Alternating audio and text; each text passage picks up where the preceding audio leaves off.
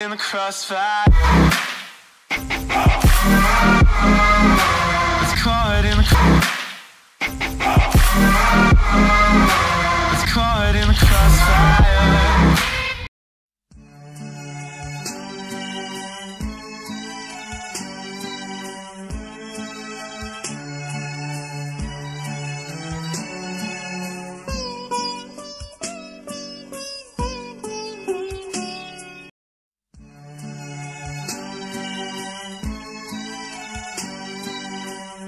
ഈശോ മിശിയായി സ്തുതിയായിരിക്കട്ടെ ഈശോയ്ക്ക് ഏറ്റവും പ്രിയപ്പെട്ട കുഞ്ഞുമക്കളെ ഇന്നത്തെ സാഹചര്യത്തിൽ വീടുകളിൽ നിങ്ങൾ സുരക്ഷിതരാണെന്ന് വിശ്വസിക്കുന്നു. എല്ലാവരും ഓൺലൈൻ ക്ലാസ്സുകളിൽ കൃത്യമായി പങ്കെടുക്കുന്നുണ്ടല്ലോ അല്ലേ? ഇന്നത്തെ ക്ലാസ് അനുഗ്രഹപൂർണമാകട്ടെ എന്ന പ്രാർത്ഥനയോടെ ആരംഭിക്കട്ടെ. ഈ കോവിഡ് കാലത്ത് പുറത്തൊക്കെ ഒന്ന് പോകുവാനും ഒന്ന് കൂട്ടുകാരെ കാണുവാനും കറങ്ങി നടക്കാനും ഒക്കെ അതിയായ ആഗ്രഹമുണ്ടല്ലേ? പക്ഷേ കർശന നിയന്ത്രണങ്ങളും നിയമങ്ങളും ഉള്ളതുകൊണ്ട് ഇതൊന്നും നമുക്ക് സാധ്യമാകുന്നില്ല.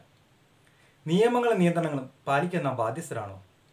അതെ തീർച്ചയായും നാം ബാധ്യസ്ഥരാണ്.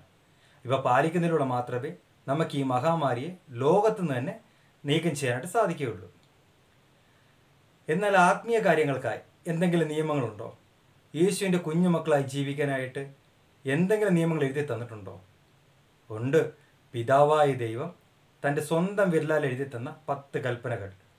സീനായ് മലമുകളിൽ വെച്ച് മോശയുടെ കയ്യിൽ രണ്ട് കൽപ്പലകളിലായി ഇവ എഴുതി നൽകപ്പെട്ടു. ടീച്ചർ പത്ത് കൽപ്പനകളെ കുറിച്ച് ചോദിച്ചാൽ പത്ത് കൽപ്പനകൾ ഞങ്ങൾ ഒറ്റ ശ്വാസത്തിൽ പറയും. എന്നാൽ ഈ പത്ത് കൽപ്പനകൾ നൽകിയത് എങ്ങനെയാണ്? എന്തിനു വേണ്ടിയിട്ടാണ് മനുഷ്യർക്ക് ഈ പത്ത് കൽപ്പനകൾ നൽകിയിരിക്കുന്നത്? ഇതൊന്ന് വിശദമാക്കി തരാമോ? ദൈവം തന്റെ ഛായയിലും സാദൃശ്യത്തിലും സൃഷ്ടിച്ച മനുഷ്യൻ. തന്റെ ചിന്തയിലും പ്രവൃത്തിയിലും തിന്മ നിറയ്ക്കുന്നത് കണ്ട് ദൈവം അതീവ ദുഃഖിതനായി. മനുഷ്യനെ ഈ ഭൂമുഖത്തു നിന്ന് തന്നെ തുടച്ചു നീക്കുവാൻ ദൈവം തീരുമാനിച്ചു. എന്നാൽ ഒരു കുടുംബത്തെ മാത്രം രക്ഷിക്കുവാൻ ദൈവം തിരുമനസ്സായി. മോൾക്കറിയാമോ അത് ഏത് കുടുംബമാണെന്ന്? നോഹയുടെ കുടുംബം അതെ. നോഹയുടെ കുടുംബം ദൈവത്തോട് വിശ്വസ്തതയും കൂറും പുലർത്തിയിരുന്നു.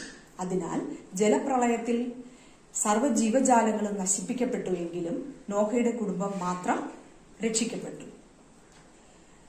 ദൈവത്തിന്റെ രക്ഷാകര പദ്ധതി അബ്രാഹാമിലൂടെ തുടർന്നു വന്നു. അങ്ങനെ ഇസ്രയേൽ ജനത രൂപം പ്രാപിച്ചു. ഇസ്രയേൽ ജനത പാപത്തിൽ മുഴുകി ജീവിച്ചത് കണ്ട് ദൈവം അവരെ വീണ്ടെടുക്കുവാൻ തിരുമനസ്സായി. അവർക്ക് നഷ്ടപ്പെട്ട ദൈവിക ജീവൻ വീണ്ടെടുത്ത് നൽകുന്നതിനായാണ് ദൈവം പത്ത് കൽപ്പനകളെ നൽകിയത്.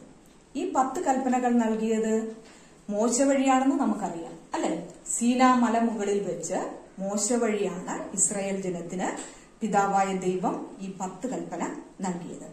ഈ പത്ത് കൽപ്പനകളിൽ ആദ്യത്തെ മൂന്ന് കൽപ്പനകൾ ദൈവവും മനുഷ്യനുമായുള്ള ബന്ധത്തെയും ബാക്കി ഏഴ് കൽപ്പനകൾ മനുഷ്യനും മനുഷ്യനും തമ്മിലുള്ള ബന്ധത്തെയുമാണ് സൂചിപ്പിക്കുന്നത്. മനസ്സിലായോ? മനസ്സിലായി teacher. You are not worthy to receive these Ten Commandments. Gathered against you, Moses. We will not live by your commandments. We're free. Hey, There is no freedom without the law. Who is on the Lord's side? Let him come to me.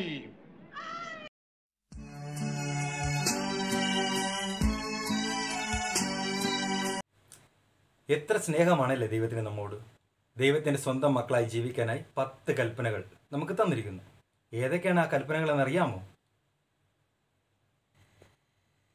ദൈവകൽപ്പനകൾ പത്ത്.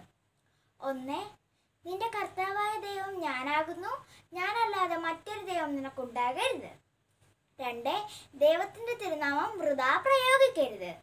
മൂന്ന് കർത്താവിന്റെ ദിവസം പരിശുദ്ധമായി ആചരിക്കണം. നാല് മാതാപിതാക്കന്മാരെ ബഹുമാനിക്കണം. അഞ്ച് കൊല്ലരുത്. ആറ് വ്യഭിചാരം ചെയ്യരുത്. ഏഴ് മോഷ്ടിക്കരുത്. എട്ട് കള്ളസാക്ഷ്യം പറയരുത്. ഒൻപത് അന്യന്റെ ഭാര്യയെ മോഹിക്കരുത്. പത്ത് അന്യന്റെ വസ്തുക്കൾ ആഗ്രഹിക്കരുത്. ഈ പത്ത് കൽപ്പനകളെ നമുക്ക് രണ്ടായി സംഗ്രഹിക്കാം. ഒന്ന് എല്ലാത്തിനും ഉപരിയായി ദൈവത്തിനെ സ്നേഹിക്കണം. രണ്ട് തന്നെ പോലെ മറ്റുള്ളവരെയും സ്നേഹിക്കണം.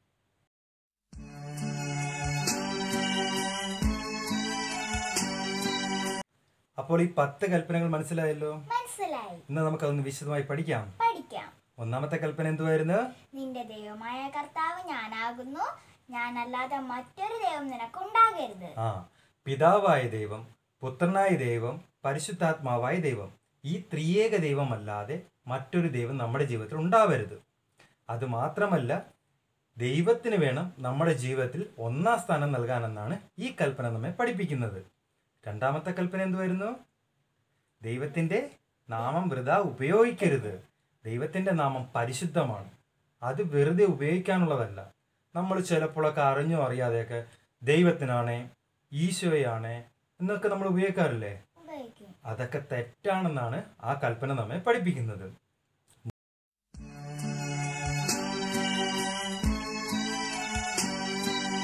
മൂന്നാമത്തെ കൽപ്പന എന്തുവായിരുന്നു കർത്താവിന്റെ ദിവസം പരിശുദ്ധമായി ആചരിക്കണം. അതെ കർത്താവിന്റെ ദിവസം പരിശുദ്ധമായിട്ട് ആചരിക്കണം.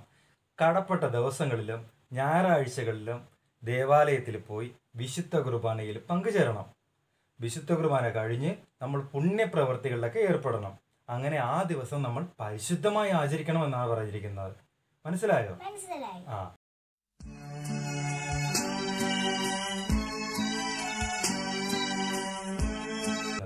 നാലാമത്തെ കൽപ്പന എന്തുവാണ്? മാതാപിതാക്കന്മാരെ ബഹുമാനിക്കണം. കണ്ടോ? മാതാപിതാക്കന്മാരെ ബഹുമാനിക്കണം. മാതാപിതാക്കൾ പറയുന്നതൊക്കെ അനുസരിച്ച് അവർക്ക് വിധേയരായി ദൈവമക്കളായി നല്ല മക്കളായി വേണം നമ്മൾ ജീവിക്കേണ്ടത്.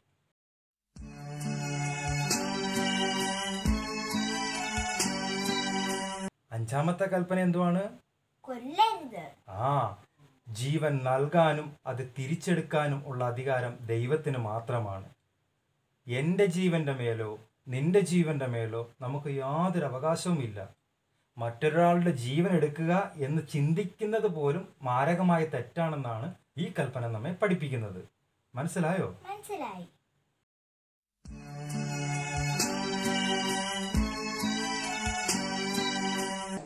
ആറാമത്തെ കൽപ്പന ഒന്ന് വിശദീകരിച്ചു തരാമോ ടീച്ചർ? ആറാമത്തെ കൽപ്പന വ്യഭിചാരം ചെയ്യരുത് എന്നാണ്.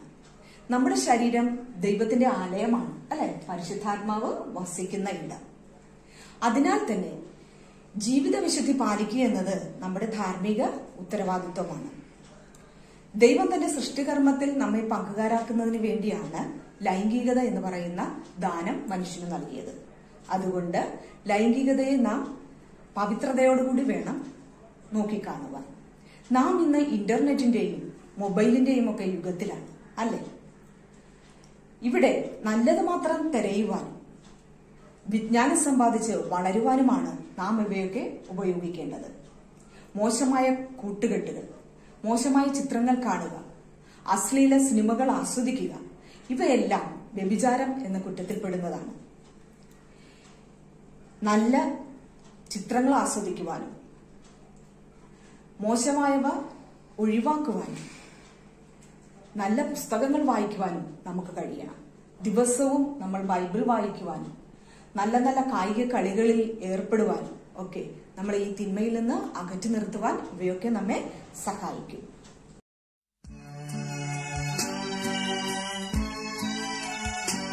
ഏഴാമത്തെ കൽപ്പന എന്തിനെ കുറിച്ചാണ് ടീച്ചർ പറയുന്നത്? ഏഴാമത്തെ കൽപ്പന പറയുന്നത് മോഷ്ടിക്കരുത് എന്നാണ്.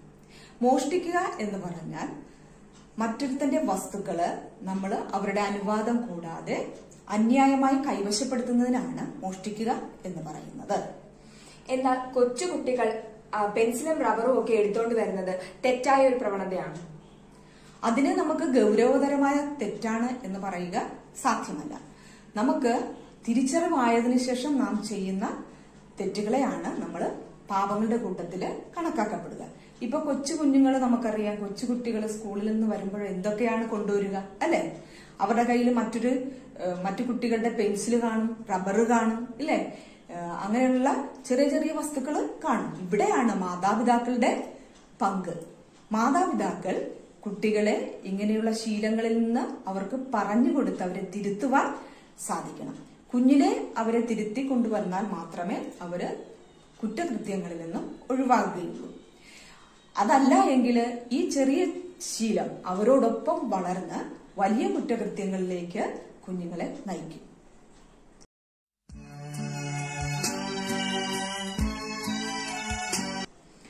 കള്ളസാക്ഷ്യം പറയരുത് എന്ന് പറഞ്ഞാൽ എന്താണ് ടീച്ചർ? എട്ടാമത്തെ കൽപ്പനയാണ് കള്ളസാക്ഷ്യം പറയരുത്. കള്ളസാക്ഷ്യം പറയുക എന്നാൽ സത്യമല്ലാത്ത ഒരു കാര്യത്തിന് കൂട്ടുനിൽക്കുന്നതിനാണ് നമ്മൾ കള്ളസാക്ഷ്യം പറയുക എന്ന് പറയുന്നത്. അതായത് കള്ളം പറയുവാൻ മറ്റൊരുത്തിനെ പ്രേരിപ്പിക്കുക കള്ളം പറയുക കള്ളത്തരത്തിന് കൂട്ടു നിൽക്കുക ഇവയെല്ലാം ഈ പാപത്തിൽ ഉൾപ്പെടുന്നു. നാം സത്യത്തിന് സാക്ഷ്യം വഹിക്കേണ്ടവരാണ്. അല്ലെ? ക്രിസ്തുവിന്റെ അനുയായികളാണ് നാം. ദൈവത്തിന്റെ സ്വന്തം ജനതയാണ് നാം. അതുകൊണ്ട് തന്നെ സത്യത്തിന് സാക്ഷ്യം വഹിക്കണം. മക്കളായ നിങ്ങൾ സത്യസന്ധരായി വേണം വളരാൻ.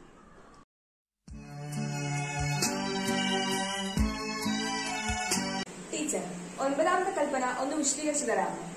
ഒൻപതാമത്തെ കൽപ്പന അന്യന്റെ ഭാര്യയെ മോഹിക്കരുത് എന്നാണ് അതായത് വിവാഹം എന്ന കൂതാശയിലൂടെയാണ് ദമ്പതികൾ ഒരു വാഗ്ദാനം ചെയ്യുന്നത് അല്ലെ? നമ്മൾ വിവാഹം വിവാഹത്തിൽ നമ്മൾ പങ്കെടുത്തിട്ടുണ്ട്. വിവാഹം എന്ന കൂതാശ ചടങ്ങുകളിലൊക്കെ നമ്മൾ പങ്കെടുത്തിട്ടുള്ളവരാണ്. നിങ്ങൾ നിങ്ങൾ ശ്രദ്ധിച്ചിട്ടുണ്ടോ ആ വാഗ്ദാനം? അച്ഛൻ പറയുമ്പോൾ ദമ്പതികൾ ഏറ്റുപറയുന്ന വാഗ്ദാനം. ആ വാഗ്ദാനം നമ്മൾ നടത്തുന്നത് ദൈവത്തിന്റെ മുൻപിലാണ്. അതിനാൽ തന്നെ നാം ആ- വാഗ്ദാനം പാലിച്ച് ജീവിക്കേണ്ടവരാണ്. അപ്പോൾ മരണം വരെയും വിശ്വസ്തയോടും ഒന്നിച്ച് സ്നേഹിച്ചും ആദരിച്ചും ജീവിക്കാമെന്നാണ് നാം വിവാഹമെന്ന കൂതാശയിൽ വാഗ്ദാനം ചെയ്യുന്നത്. അതുകൊണ്ട് ദൈവം നമ്മോട് ആവശ്യപ്പെടുന്നത് നമുക്ക് ലഭിച്ച പങ്കാളിയെ അല്ലാതെ മറ്റൊരു വ്യക്തിയെ നമ്മൾ ഇണയായി കരുതാൻ പാടില്ല എന്നാണ്.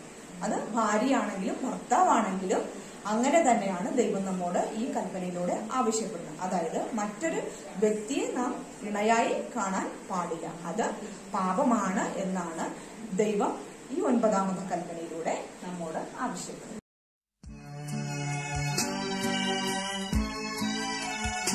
ടീച്ചർ പത്താമത്തെ കൽപ്പന അന്യന്റെ വസ്തുക്കൾ ആഗ്രഹിക്കരുത് എന്നല്ലേ? ഇതൊന്ന് വിശദമാക്കാമോ? അന്യന്റെ വസ്തുക്കൾ ആഗ്രഹിക്കരുത്. അതായത് ഈ ലോകത്തിലെ വസ്തുവകകളെല്ലാം ദൈവത്തിന്റെ ഉടമസ്ഥതയിലാണ്. ഇവയെല്ലാം പരിപാലിച്ചു കൊണ്ടുപോകാനുള്ള കടമയാണ് നമ്മെ ദൈവം ഏൽപ്പിച്ചിരിക്കുന്നത്. നമുക്ക് അധ്വാനിച്ച് ജീവിക്കുവാൻ അതായത് നമ്മുടെ നെറ്റിലെ വിയർപ്പ് കൊണ്ട് അധ്വാനിച്ച് ഭക്ഷിക്കുവാനാണ് ദൈവം നമ്മോട് ആവശ്യപ്പെട്ടിരിക്കുന്നത്. നമുക്ക് ലഭിച്ചിരിക്കുന്ന കഴിവ് ഉപയോഗിച്ച് ന്യായമായി സമ്പാദിക്കാൻ നമുക്ക് അവകാശമുണ്ട് അനുവാദമുണ്ട്. എന്നാൽ മറ്റൊരു വ്യക്തിയുടെ സ്വത്തുവകകളോ അവരുടെ കൈവശമുള്ള വസ്തുക്കളോ സ്വന്തമാക്കുവാൻ ശ്രമിക്കുമ്പോഴാണ് ഈ സമൂഹത്തിൽ ഇന്ന് നമുക്ക് കാണുന്ന അതിക്രമങ്ങളും ക്രൂരതകളുമൊക്കെ നടമാടുന്നത്. നമുക്കറിയാം ഈ അടുത്ത കാലത്തായി പത്രം തുറന്നാൽ നാം കേൾക്കുന്ന വാർത്തകൾ കൊലപാതകം ആത്മഹത്യകൾ. ഇവയെല്ലാം തന്നെ മനുഷ്യന്റെ അതിമോഹത്തിൽ നിന്നും മറ്റു വ്യക്തികളുടെ വസ്തുക്കൾ വസ്തുക്കളെ മനുഷ്യൻ ആഗ്രഹിക്കുന്നതിൽ നിന്നുമാണ് ഇത്തരം ഇത്തരം ക്രൂരതകളും തെറ്റുകളും മനുഷ്യന് ചെയ്യേണ്ടി വരുന്നത്. അതിനാൽ ദൈവം നമുക്ക് തന്ന കഴിവ് ഉപയോഗിച്ച് നമുക്ക് ന്യായമായി സമ്പാദിക്കുന്നത് മാത്രം സ്വന്തമാക്കി ജീവിക്കുവാനാണ് ഈ കൽപ്പനയിലൂടെ ദൈവം നമ്മോട് ആവശ്യപ്പെടുന്നത്.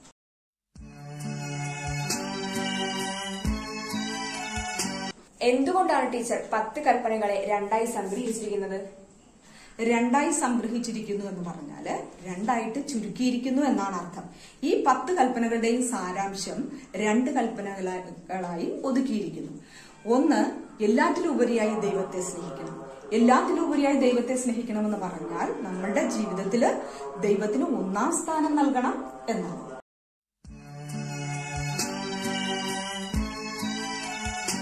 രണ്ടാമതായിട്ട് നിന്നെ പോലെ തന്നെ നിന്റെ അയൽക്കാരനെയും സ്നേഹിക്കണം. അതായത് നമ്മളെ നാം എങ്ങനെയാണോ സ്നേഹിക്കുന്നത് അതുപോലെ സഹോദരങ്ങളെ അല്ലെങ്കിൽ മറ്റുള്ളവരെ സ്നേഹിക്കണമെന്നാണ് ദൈവം നമ്മോട് ഈ കൽപ്പനയിലൂടെ ആവശ്യപ്പെടുന്നത്. അപ്പോൾ നാം നമ്മെ പോലെ തന്നെ മറ്റുള്ളവരെയും സ്നേഹിക്കുമ്പോൾ ഇവിടെ ഈ പറയുന്ന തിന്മകൾ അതായത് കൊല്ലുക മോഷ്ടിക്കുക വ്യഭിചാരം ചെയ്യുക ഇങ്ങനെയുള്ള തിന്മകളെ എല്ലാം ഉന്മൂലനം ചെയ്യുവാൻ സാധിക്കും അതായത് നാം നമ്മുടെ സഹോദരങ്ങളെയും സഹായിക്കുകയും സ്നേഹിക്കുകയും ചെയ്തു വേണം ജീവിക്കുക ഈ പത്ത് കൽപ്പനകളും പാലിച്ച് മുന്നോട്ട് പോയാൽ നാം ദൈവത്തിന് പ്രിയപ്പെട്ട മക്കളായി നമുക്ക് ജീവിക്കുവാൻ സാധിക്കും. അതിനായി സർവേശ്വരൻ നമ്മെ ഓരോരുത്തരെയും അനുഗ്രഹിക്കട്ടെ എന്ന് പ്രാർത്ഥിക്കുന്നു.